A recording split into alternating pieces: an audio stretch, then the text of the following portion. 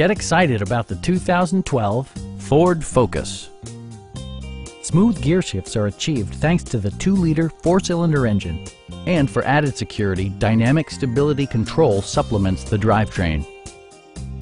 All of the premium features expected of a Ford are offered, including adjustable headrests in all seating positions, a leather steering wheel, a built-in garage door transmitter, a trip computer, turn signal indicator mirrors, and air conditioning.